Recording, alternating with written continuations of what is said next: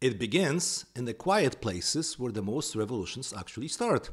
Not on the front page of a newspaper, but in a slow, repetitive hum of instruments and a soft tapping of keys. A lab in Australia grows hundreds of bacterial strains from human gut samples. Another team in Europe refines a culture technique that had been more myth than method, and a small, stubborn cluster of researchers insist on coaxing sleeping viruses out of genomes to see what they will do when they wake up. What they pull from those cultures is not a parade of monstrous invaders, but a secret architecture. Hundreds of previously unknown viruses that live inside the bacteria of our intestines, phages that have been quietly shaping microbial ecosystems inside us for as long as humans have been human. And this is what I will talk about today on Knowing is Winning. This discovery is uh, at once intimate and vast. Intimate because the gut is as personal as breath. Vast because the gut microbiome is a teeming world whose rules ripple outward to influence inflammation, immune signaling, metabolism, and even how we respond to drugs and infections. For years, the virome of the human gut, uh, those viruses that infect bacteria, was known mostly as shadow maps on sequencing readouts, fragments of DNA signaling presence, but not behavior. Now, having isolated living bacteriophages and traced their relationships to specific bacterial hosts, scientists hold actual actors in a drama we previously inferred from footprints and echoes. The implications arrive slowly, like tides. First, there is the immediate scientific pivot. Models of the microbiome must now incorporate dynamic viral players that can switch between dormancy and active infection, that can move genes among bacteria via transduction, and that can sculpt bacterial communities by killing or tempering particular strains. Because these viruses are often temperate, uh, integrating into bacterial genomes and sometimes carrying genes that change bacterial function, they are not merely predators, but modulators of bacterial behavior. When you change the bacteria, you change the chemistry of the gut, the immune system dialogues at the um, um, mucosal level frontier, and the systemic signals that travel from the intestine to the liver, the brain, and beyond. Therapeutic imagination follows the uh, science with predictable eagerness.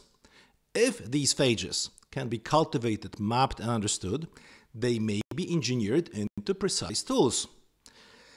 Targeted phage therapies that uh, remove harmful bacteria without collateral damage, or um, designer probiotics that include phage bacteria consortia tuned to rebalance inflammation, or um, living drugs that carry genetic payloads to alter microbial metabolism in ways that reduce carcinogenic processes. Think of a probiotic that does not merely supply a benign strain but brings with it the phages that keep the strain in productive check and disable pathogenic neighbors. This is not science fiction, but a plausible blueprint suggested by the discovery of a living gut virome. For people suffering from chronic inflammatory diseases, cancers with microbiome linked um, etiologies, or infections with resistant bacteria, the potential is electrifying. Current antibiotic strategies are blunt instruments that knock down bacterial populations and often leave ecological vacuums that opportunistic or resistant species exploit. Phage based interventions promise specificity. They can be evolved to target particular bacteria genotypes, and crucially, they can be used in tandem with microbes that restore ecological balance. Early experimental results are modest but encouraging. Altered phage populations correlate with disease states. Manipulating those populations in animal models shifts inflammation and tumor microenvironments. and lab grown viromes allow precise experiments that were previously impossible with only sequence data to guide hypotheses. The um, technological scaffolding that makes these uh, therapeutic visions possible is itself a story of slow adaptation and interdisciplinary generosity. Microbiologists collaborate with virologists, computational biologists with clinicians, and engineers with ethicists. Now, new culture systems, anaerobic chambers, microfluidic gut on chip devices, and multiplexed phage bacteria co-culture platforms turn metagenomic after images into manipulable systems. Bioinformatics pipelines that once only sorted read counts now construct viral genomes, predict host specificity, and suggest mechanisms by which phages influence bacterial gene expression. When the first living viral models are assembled and shared, the field accelerates as groups once constrained by different methods can now test the same hypotheses with the same reagents and readouts. But the story of viruses in our guts is only half of the decade's viral awakening. At the opposite pole of scale, where climate and geology meet biology, another set of discoveries begins to trouble our sense of time. As polar and alpine ice melts, scientists working at archaeological dig sites and permafrost cores find ancient microbes and viral genomes preserved like messages in amber. Some of these ancient viruses are purely genomic fossils, you know, fragments of RNA and DNA that tell us about uh, evolutionary history. Others can be revived in controlled laboratory setting under strict biosafety supervision. Viruses that once circulated tens of thousands of years ago now coax back to activity to study their biology and evolutionary relationships. These experiments are not done lightly. They are done with um, an awareness that resurrecting the ancient is playing with a power we are only beginning to understand. The thaw reveals more than pathogens it exposes ecology. Viral genomes recovered from ice reveal reservoirs of genetic diversity that challenge linear narratives of viral evolution. They show how viruses moved between hosts in ancient ecosystems, how viral genes recombine with bacterial and archaeal genomes, and how environmental change shaped viral dynamics. As scientists assemble these um, um, uh, they see patterns, bursts of viral activity tied to climate oscillations, signatures of host jumps, and genetic modules that persist across epochs.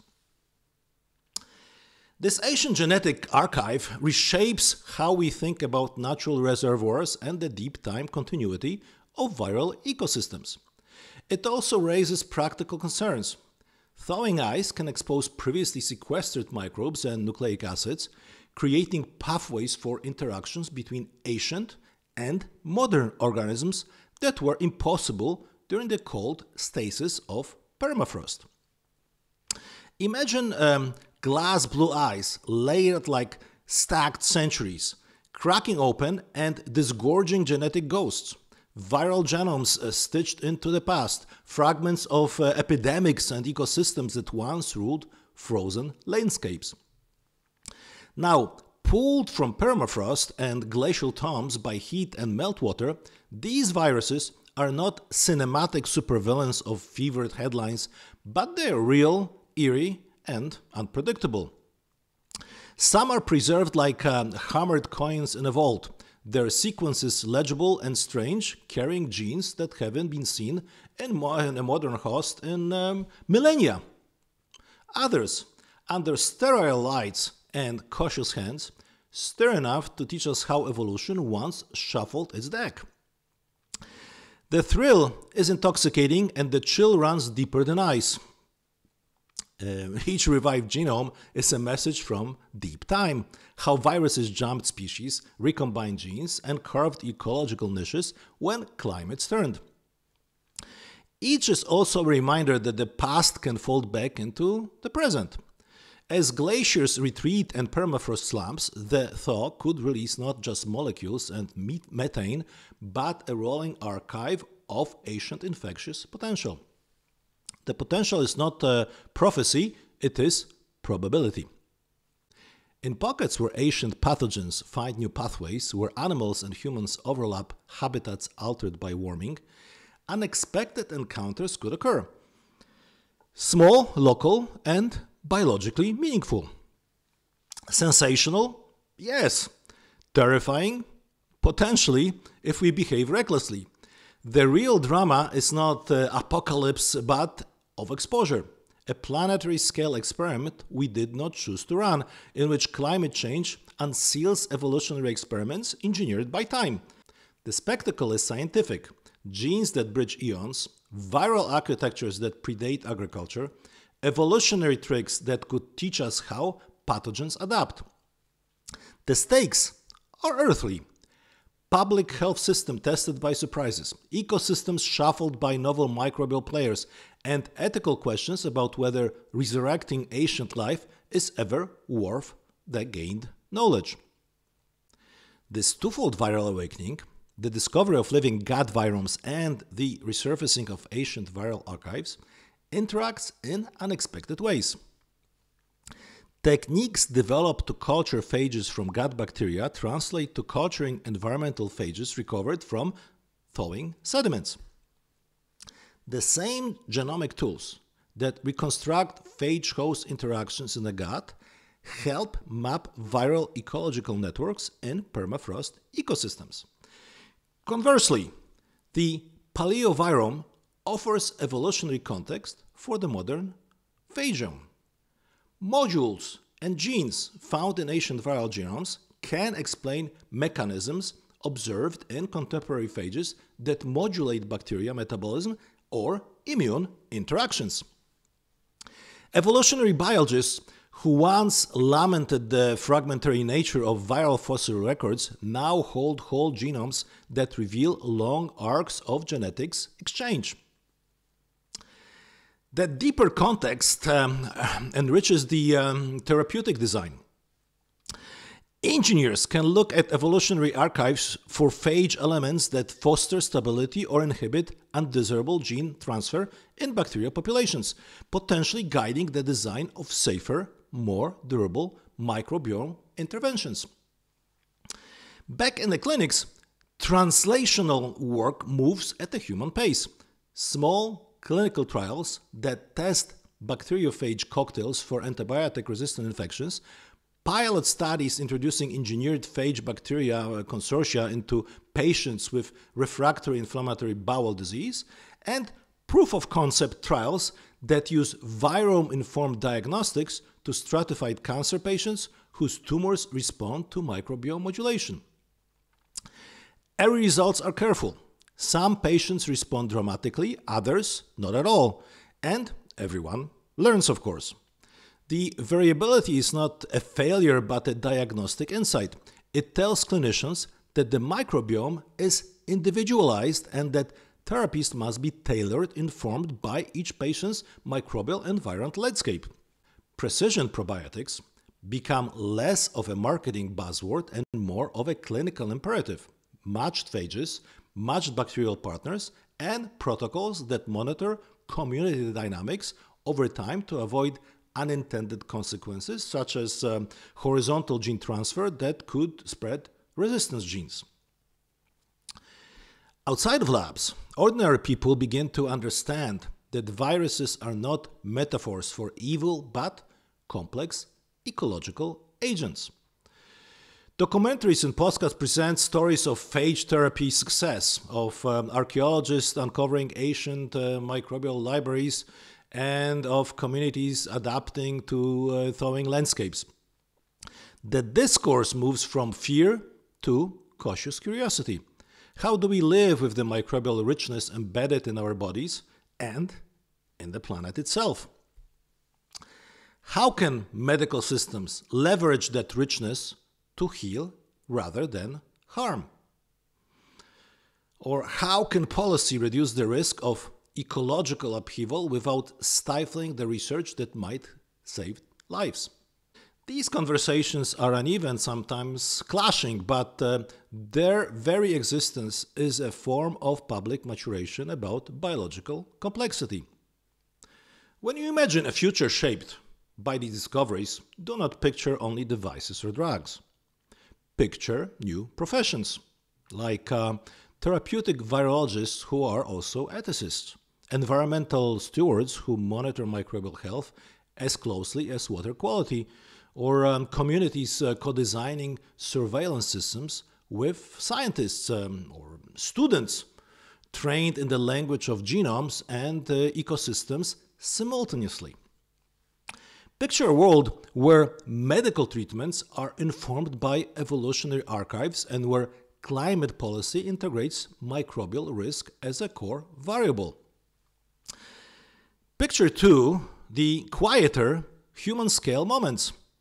A patient who regains quality of life after a phage based therapy, a community spared an outbreak through early de detection of a zoonosis, or a child who learns in school that microbes can be both friend and, and foe, and uh, that stewardship is the skill that navigates between uh, those two poles. In the end, these twin discoveries hundreds of new viruses in the human gut and the resurfacing of ancient viral archives from uh, melting ice do not deliver a single tidy moral. They produce instead an expanded frame of how we relate to the microbial world and to the planet. They ask us to cultivate scientific uh, rigor hand in hand with social responsibility, to marry innovation with ethics, and to listen to the long, patient signals recorded in genomes and eyes alike. The future they open is not single trajectory toward cure or catastrophe. It is a branching set of possibilities shaped by how we choose to steward knowledge. So, the new viromes, both the ones living quietly inside our bodies and those sleeping in the ice, become lessons in humility and opportunity. They teach us that complexity is not obstacle to be blasted aside but a landscape to be navigated thoughtfully. They challenge us to build institutions that can manage risk while enabling discovery, to educate professionals who can span disciplines, and to create policies that protect both public health and the public trust.